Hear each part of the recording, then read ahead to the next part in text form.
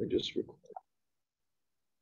That it was uh, the sponsorship for today is the Zimmerman family in honor of the engagement of Mordechai, and the shidduch should be V'itoy, Bismanoy, B'Makoimoy, and also the Chasane, all the Chasanim Simchas as well, who are giving Kiddush this week and are sponsoring this year as well. I'm, I'm doing tight selling, by the way. Anytime somebody sponsors a Kiddush, they all, there's a Tzeh Ulmad, they get Tzeh Ulmad and also we're Oh, an extra price.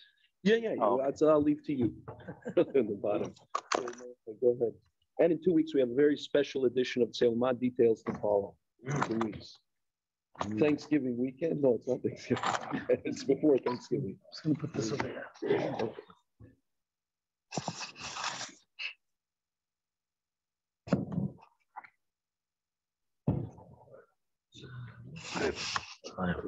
Okay. Hi. Okay, so this famous medrash, I think everyone here probably grew up with this medrash. Well-known medrash, that is that there's a man, he's traveling, goes from place to place, comes, sees this house all lit up, and he starts wondering to himself, and he says, a house like this, is it possible that this house doesn't have an owner? Who's the owner of the house? And suddenly the owner comes out and he says, Ani Bal I'm the owner of the house. It's my house. So Avram Avinu, he saw a great illuminated world. that was all lit up.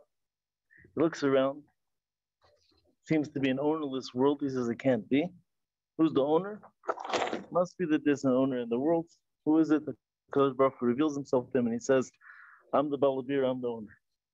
This is the medrash we all grew up with. We all know it. And from there, the rest is history. Avraham Avinu becomes Avraham Avinu and sets the DNA of Klal Yisrael, Emunah HaKadosh Baruch Hu. Is the Av HaMa'aminim. What's all the Chiddush over here? Is he the first one to ever think this? It's a simple medrash. I think it's a question anybody would have asked. They would have looked, they would have said, okay, who, who built this place? And it seems that this medrash necessitates a lot more depth than just the story itself. And Pasha Pshat, this seems to have caused Avram Avinu to choose a new derech, begs clarity. Was he the first person to ask this question? What about Chanoich? What about Noach, Mesushelach, Shem, Ve'ever? Avram Avinu, he's called Avim Aminim, but what about them? Noach was also, Noach is Tzaddik. Avram Avinu wasn't called a Tzaddik. So what's the difference between Avram and Noach? You know that the famous words from Chaim Volozhiner, so everyone says this over. I think every in, in every school they teach this in Parshas Lech Lecha, that the that the the Mishnah in Avos tells us that the Asher Nisyonis Avram Avinu. Why is he called Avram Avinu over there? Sometimes he's called Avram, sometimes Avram Avinu. So he's called Avinu in that sense because it was through those Nisyonis that he became our father, became part of the DNA, our genes, that he would pass that on to Klal Yisrael so when you see a person doing chesed today, hey, he's a nice guy, but you should know hey, he got it from his father. When we when we do things, we act with emuna. We got that from Avram Avinu, and this is part of the DNA of Klal Yisrael. So that comes from Avram Avinu. So why was Avram Avinu who gave us emuna and not Noach? Noach had the same emuna. So the Svarim tell us something interesting about this story, this medrash. I want to put it in a different light. Excuse the pun. I'll explain to you what I mean by that. What was the medrash? What was the story? He comes to a house. It's all lit up. He says, "Who's the owner?" So let's let's stop. Let's take a step back for a second. You're walking in the desert. I'm going to tell you a story. The mashal everyone heard. You're walking this in the middle of the desert. You see a beautiful Rolex watch. Right, the Rolex Daytona 19, uh, all the everything there and it's clicking exactly to the to, to the second, perfect for the millionth of a second, whatever they claim. See, where this come from? It just came all by itself. Obviously not. Someone put it there. Would the mashal be any different if you showed up and the watch wasn't working? The same beautiful watch, but it wasn't working. The guy says, "Hey, it came by itself." Well, if it was working, I wouldn't believe it. But now that it's not working, I believe it came by itself. Obviously, it's silly. So does the house make a difference if it has lights in it or not? It's still architecture, the structure there, there's everything that has the house, everything in the house. And now suddenly, says the marriage, the house was lit. He looks, he asks the question, who's the Balabir? What's the difference? Why was the light in the house a fact over here that the Medrash seems to mention? What's the purpose? What does it teach us? You see houses for sale all the time. There's house for sale, rent, nowadays maybe foreclosure. Some should protect us. Even if there's no electricity going on in the house, you're still going to say the house has an owner, right? Somebody owns the house. But it seems that Anibal Habir has a different understanding once there's light in the house. So the Svarm explained that the Medrash is not referring to the lights inside of the house, but rather the reflective lights that illuminates the entire area surrounding the house. Yeah, Marshall, there's a medrash that says by Tzair Tasala Teva, the pasuk by Noach, the medrash that brings that the lighting there, the lights, the, the windows were done in a way, just like in just like in the Beis Hamikdash, the windows were done in a way that the lights inside would actually illuminate, project outside. Avram Avinu sees a bira. The Medrash tells us that this house had light in it that was reflecting all around. He says, okay, I understand if they have lights inside, they need light for themselves, the owner. But what's the purpose of a light that's going to project outside? I understand he, he needs a light. He wants to read something. But why is he shining the light? Uh, what's he trying to do over here? So that's something that Avram Avinu never saw before. He's trying to understand what's going on. What's the shot in the light that's outside and not for the inside? So he questioned this. He said, what's the benefit? So I'd like to give two approaches. One is one we came up with today, and the other one is from Rameir Chadash. The way I understand this, I'll say mine first and then the better one afterwards, Achron Achron. But the way I understand this is like this. The Torah, the Emunah HaKadosh Baruch Hu, that's the light that guides a person throughout the world. And it's one thing you see, you come to you come to a place, you come to a light right in front of you. Okay, I can see right now. What happens if I walk away from the light? Right? Can you hold the flashlight over here? Right? Once you walk away from it, you can't see anything. The Torah gives the ability to take it with you to guide us through every situation in life. And if I don't understand something, Emunah is what keeps a person strong, is what teaches a person that even in the darkest moment, the Emunah shines brightly. And even in the dark moment where it seems that all is lost, Emunah teaches a person that it's actually bright over here. Remember Kadosh Baruch Hu. Avraham Avinu sees that there's a light over here that gives off radiance, not just over here, but wherever you go. And he saw that the, the world is a place that's full of an or. The or that's ganas for the tzaddikim, the or that's the or that was from the Sheshim Ebrashis, the or that gives the ability to see in every corner of the world. We, from one side of the world, we say from one side to the other side. So when he sees that, he understands this is different. This is not just an R. This is not just something that's right here. This is a way that I can live my life. Avraham Avinu sees that. He says, okay, that's a derech that I want to go, I want to take, and I want to live with.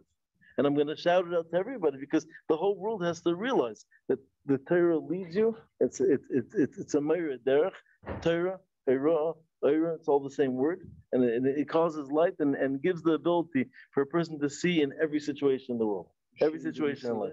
Shem didn't see it. So, so Shem saw it, but Shem didn't spread it. Shem didn't spread it. Noach saw it, Noach didn't spread it. We're gonna we're gonna come to that shortly. We're gonna we're gonna come, come back to them momentarily. That's the first mahal. The second approach, which Safar Meir Chadash, he wants to say like this. The purpose of the house was not self-serving. Inside the house, they didn't need anything. They had what they needed. The purpose of the house was for the benefit of everyone else. The owner wasn't selfish. He didn't need the light for himself. He lit the way for others. So that street had no lampposts. Why not? Because the house lit up everything around it. This was amazing to Avram Avinu, especially coming from the days that were preceding him. Avram Avinu looks, he says, I never saw something that you're doing this specifically for everyone else, for Yenim, not for me. That's something that was a chiddush. And he said, that means that the tachlis over here is not for me, but it's for everyone else. So what's a what's Avram Avinu? Avram Avinu is Amud Chesed. Everything about him was Chesed. He learns from this moment. He, he looks at the world. He says, "Akash Baruch created a world. Not Hashem. What does Hashem need the world for? Adonai. Right? What do we say afterwards? Kichlois Hakol. Once everything is done, Levada Hashem's by himself. Hashem doesn't need any of this. Hashem has everything to lose and nothing to gain by creating this world. Why does he do it? He does it for Yen. He does it for everyone else. He does it for us. So that means that the tachlis of the world is oilam chesed yibana. Hashem says, I'm going to create a world for the purpose of everyone else, not for me. So if there's a world of chesed, and that, that's what it's all about. So Avram sees this. He says, uh, that's an opportunity. That's, that's a way to live a life. That's a way to give over to others, not to live for myself. So the tachlis of the world, the tachlis of our homes, our possessions, our koiches, our talents, our kishrin, everything that we have in this world is to do for other people. Avraham Avinu taught, he taught Klal Yisrael, he taught the world, he taught the world that chesed, even when you're in tsar, you do chesed. Why? Because without chesed, there's no world. So what happens? He has a bris milah, he's in pain. When, when it's the hardest time, can't do chesed. What's the point? He has so much sar. Hashem says, okay, I'll give you chesed because the whole world's going to fall apart without it. So he, he teaches us to do chesed in every single case. Abraham teaches us chesed without, without an ulterior motive. Where does he learn that from? In that Hashem made. Hashem doesn't have any ulterior motive other than providing lights for everyone else.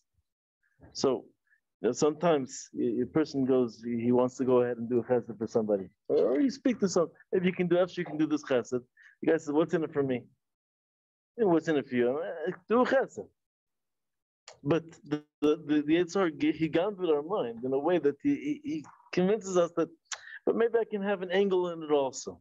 Rabbi teaches us that you learn from Hakadosh Baruch Hu, there's nothing else other than the chesed that Hashem is doing for us with no ulterior motive. Nothing else. There's no what's in it for me. It's just Yen and no, no one else. You think about Noach. So contrast this to Noach and to Shem Be'aver, to Mesushelach, to, to Chanoich. So Noach is told, build a teva. Why? Because you're going to go ahead, you're going to convince people to come back to HaKadosh Baruch You convince people to do the right thing. He was living in a time when no one did chesed. He was living in a time where they were the lowest of the low, and they stole from each other and all the all the different affairs that they did. So Noach, while he's doing all this, he's supposed to convince people to change their ways. Sir, and make that light that's going to spread to everyone else. He can't get anybody, and he doesn't get anybody. Rabbi Yerucham writes in Das Torah an interesting thing. He says that in the Welt, the way we were created, the way we were created, he says this in by Noach, he says by Noach, he says this in, in he says this three times. He says the way we were created, the world and, and all the Svarim like say the same thing. The Chassidish Svarim all say this idea that we are either a mashpia or we're a mushpa. It's one of the two. Either you're a mashpia or you're a mushpa. It doesn't. There's no. There's no. There's no two ways. Either you're you're you're you're a giver or you're a taker. Either you're able to be there for other people or you end up having to take. Avram Avinu, he, he understands this is a world of giving. He doesn't need a teva to protect him. Why not? Because when you're a musha, when you're a mashpia, you're so busy giving off, you don't end up taking in. So what he, he's not going to be affected by everyone around him. Why not? because he's giving out. He's not pulling in. He's not going to he's not to take in what they're giving. He's busy giving out. Noach, the only way to protect him, because he wasn't being much on others, was to put him in a box. Just to put him in a box, put him in a table, literally. That's Shem Aver, why weren't they the Gedolim? So people went to them for advice, but they sat in their own place. They didn't go out. Ravina was outreach. He went, he was chesed. He was giving to other people. He was giving the Torah to other people. He was giving the, he was giving the chesed to other people. So that's a little bit of the differences between them. There's a pasuk in in Shir HaShirim we say by uh, Achis Ketana. I don't remember the pasuk by, uh, by heart. Achis Ketana. What's the? What's Achis Ketana? What's the last in the pasuk in Shir HaShirim? There we go. Achas Ketana Shadayim Einla. Or the rest of the pasuk. Right. So Shadayim Einla. So says Rashi, what's Achas Ketana Shadayim Einla? How do I know that? So Rashi says something interesting. Rashi says because the tachlis is to be able to give other people. The tachlis of a woman, she has to be able to nurture her children, she has to be able to feed them, to be able to give to the next generation. If she's not doing that, it must be she's achas kedam, it must be she's still small. Must be she's not yet mature enough to be able to give. They're ketanim, they're gedim. This is in, in, all the Sefer Chassidus, this it's this is this is a basic 101 in, in the in the Aleph Beis in, in, in the storm is that we have the ability to be mature, to give off, to be gedim, to give off to others, or we can remain as ketanim. As immature is not giving. The Katan Rashi says is the one that cannot go ahead and feed to the next. So says Avram Avinu, I'm going to go ahead, I'm going to understand we have to spread this to the entire world. And that's what he saw from the bira. And that's, I think it's an incredible lesson over here. And finally, what's the greatest level of tzedakah? Right? There's something called Matan B'Seser. A great level in tzedakah is Matan B'Seser. What's from Matan B'Seser? So, uh, so you're not embarrassing the person. You're right, but also Matan B'Seser, there's no opportunity to put up.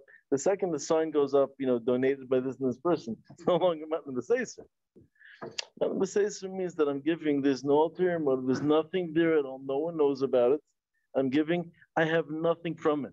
So it's it's true that in our lives we cannot go ahead. Uh, We have to earn a living. We have to do things, and that's just the currency of the world. But at least we can try and figure out: is there? Can I do one mitzvah that's altruistic? That there's nothing involved that I can do for someone else. One thing, 100% l'shem shemaim. I think this is uh, an idea we can take. Shkoyach. We obviously can do it because Avraham Avinu taught us to do it. After, after all said and done, Yaakov Avinu spent, spent quite a bit of time by uh, Shem v'Ever since things must have changed along the way. No, No, he went to them. That's He what had he's to go to them. He went to he them. went. Right, right, Shem went to- yeah. He went to them. He didn't. Uh,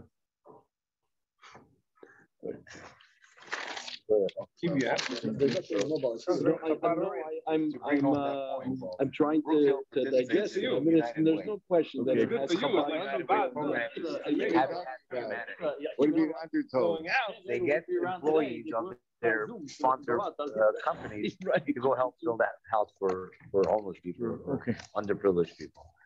So one of the regional coordinators was in our office this week. And I had an opportunity to talk to him. So I, and, and they do it during the day, during the day, like a work day, You just went in for where? uh, Habitat for Humanity. Uh-huh. Uh, So about twenty people sign up from, you know, Brookfield's a sponsor of this one of these events. I asked him, I said, you ever think about doing it on the weekend? You know, the crews that are doing these, they're building houses for real and they have to spend time with these low yislocks who don't know how to hold a hammer, right? For a whole day. Yes, it makes everybody feel good, but do it on a weekend when he says they used to years ago. When nobody wanted to come. They come now because they're missing a day of work. Right? So the chesed, no, I'm, I'm doing chesed. What's in it for me?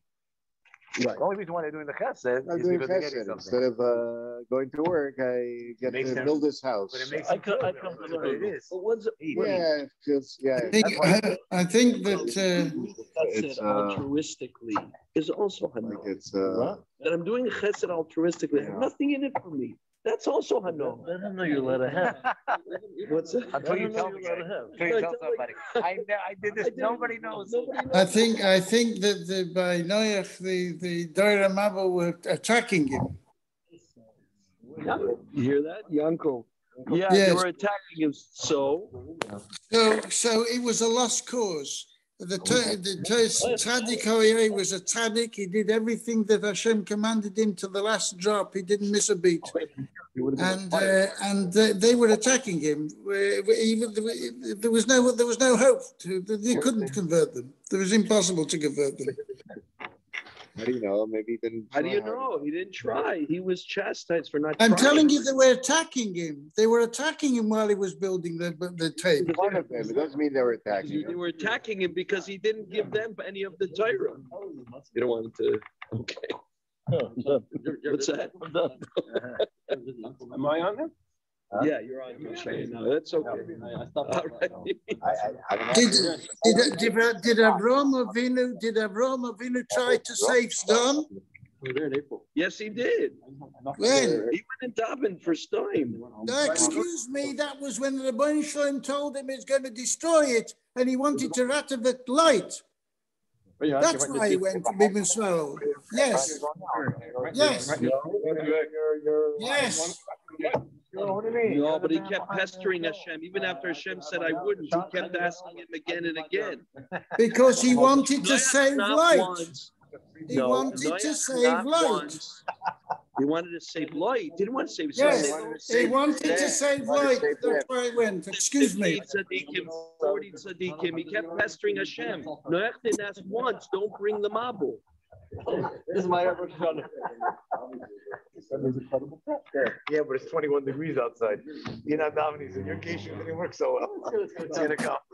Coming, coming. So I, Avram is the first one to really realize that the purpose of the world is to give unconditionally. That's what the Torah is. To recognize that concept that Hashem gives us unconditionally, have to spread the message to give unconditionally. And he emulated that, right? Yeah, yeah, but To give unconditionally. Yeah. Yeah, go ahead. Thank you. I'm sorry. last No, no, no, no. text. I very good. Go ahead. Oh, you got the, oh, Dick Wadley. Okay, say. You ever thought about this? The light part? Great. That's Yeah. great. Every, when you look at a mushal and medrash, you really have to take it apart, right? You see, the, the light was, I didn't realize the light was outside the house. No, The light was The inside. Medrash says there was there was light. Spread out. Yeah, that's. No, but it looked like there's an owner, active owner. That's why I said, when you see the Ro- Rolex that's not working, the guy threw it out. He's not interested anymore. It's Miyash on But it. even that had to come from somewhere. Yeah, I know, but it wasn't that it came from somewhere. You're right. What, what Avram was asking is, there's an active Very owner. Nice. This looks like there's a high it's connected. You connected to a house. And that's what I understood from the motion, right? That there's a, Yeah. there's a, somebody here, the Baal Bus is here. Same Yankee. The Baal Bus, I think that the, the, that the, um, Avodah Zorah, Avodah Zorah that they had, they didn't worship pagans. I think they believed a bunch built the world and he left. And he left it. In Avram's time? No, in Avram's time. What did they believe? Avram's time they didn't believe in Hashem. They didn't know. They didn't know his existence. They didn't know anything that there was a Baira Olam. No, that's what Avram said. It doesn't make sense. No, it doesn't mean that Baira Olam is here and active. There's a Shkacha Pratis. That's what I think. He cares about this world. I mean, some some some learn like that. Um, if you look in what's Ohr Gedalyahu, so he so he's busy taking it apart. What uh, Avodah Zorah? No, taking it apart about the difference of Hashgacha Pratis versus Kolis Uh-huh. with Avram Avinu. That's how he understands the whole. Av- Avram Avinu knew, Avram Avinu knew what was going on in Sodom before, before Hashem told him. How do you know? No, the pasuk says Hamachasani me Avram. Yeah, what Mashani Hashem says I have to. But know he knew, he knew what a terrible people they were before Hashem told him they're going to be destroyed. No, He wouldn't take anything from them in the in the Muhammad. He knew what was going on there. He knew it was a terrible place. Maybe, sorry. Are you watching it? Hmm? You're watching it on Zoom? No, on your maybe. phone? Oh, okay, okay. I hear it. I, I don't know if he knew exactly what was going on in Stein. Yes, he did. I'll think though, there is a medrash, by the way, Yankov, that he, Ishmael married and Avram came to visit him. You know this medrash? And Avram came to visit him and the lady wasn't nice to him when she came in, who's this old man, she wasn't machnis. So Avram left him a message and said, your house needs renovation. So Yishmael understood from that that this woman wasn't kind of, he divorced her. And he married somebody else. And then Avram came to visit again. And again, Yishmael wasn't there. And he, this time he came and says, the house looks very good. Just to know that Avram, even as far as Yishmael went, Yishmael was kicked out of the house, but Avram kept in touch with him. That's a medrash. And therefore what? No, so that the point is that even though Yishmael, who wasn't really part of Avram's legacy, Avram cared enough to see that he has um, that he has chesed going on. Now, what's So I that got to do? What's that got to Stein- do I with think in Sodom? Stein, Avram didn't know what was going on in Stein. That's all. He did know. Only after Hashem told him. No, he wouldn't take anything from them in when they had the, when the, the Malachim were fighting and they, and he wanted to, the, the, he said, I'm not taking any, in the, the Shchut Nal, I'm not taking, I'm not taking a I, I shoelace. don't know if that's the same thing. I, I'll let Mordechai answer that. I think that's something different. It's not different at all. He knew lo, lo, where Lot went. They- You think he didn't know what was going on there?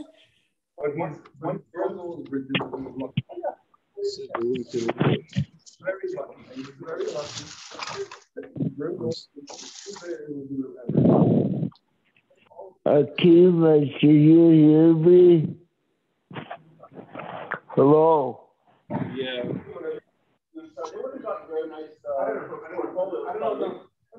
I don't know enough to say. I made a mistake. You're right. Uh, link link didn't work.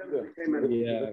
Common throughout. Nobody, nobody's stuck with him. And the only one now, it's not now, he has no friend. He has. Yeah, sorry. Okay. Go ahead. I'm gonna change. I'm gonna change. Oh, it. Akiva, Yeah. The, the, can you, his no. Yeah. Are we on for tomorrow? Do you need me to? can you hear me, Akiva? Hello? Yeah. Did you? Um. This just look like passport. That's what happened with my passport. Yeah.